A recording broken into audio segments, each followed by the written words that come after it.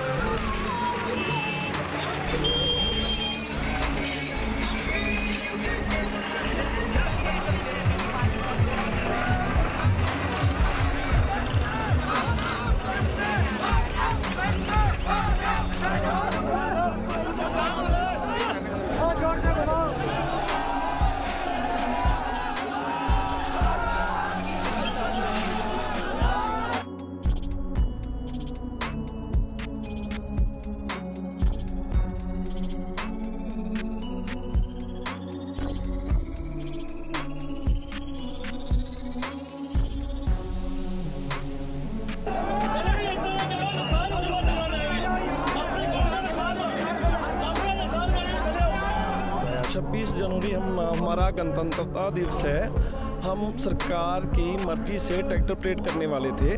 लेकिन क्या हुआ? एन मौके पर कुछ शरारती अंसरों ने उसमें हल्लड़बाजी मचा दी और लाल किले पर जाके हमारा केसरी निशान जुला दिया। लेकिन हम उनसे सहमत नहीं हैं, क्योंकि हमारा वो मकसद ही नहीं था। हमारा हम, हमारा रिलेटेड है खेती से, काले कानूनों से।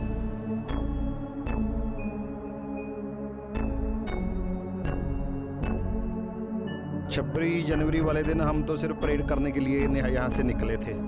और हमारे बीच में कुछ शरारती अंसर आए। उन्होंने वहाँ पे जाके अंदर लाल किले के अंदर झंडे वहाँ पे केसरी निशान सब जुलाया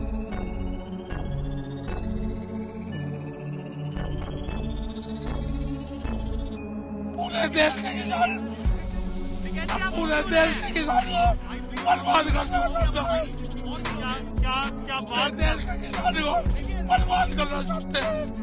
नहीं होगा। ये देश का किसान ये पाँच लाख ट्रैक्टर लेके लाए मेरी ज़िम्मेदारी है।